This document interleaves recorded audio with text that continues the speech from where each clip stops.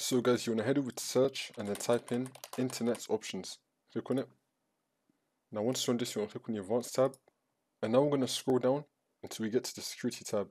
You want to uncheck, check for publisher certificate revocation and check for server certificate revocation. Uncheck both of these for now and then click on OK. Now we're going to head over to search again and type in internet options again. Click on it.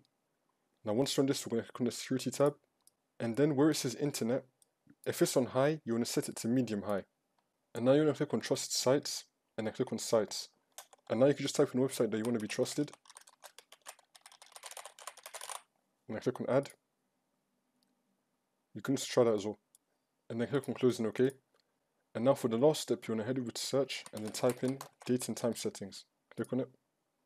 Now once you're on this, you want to turn off set the time automatically and then turn it back on again. Now we're going to scroll down and then click on sync now. And now you want to restart your computer and then now it should be fixed.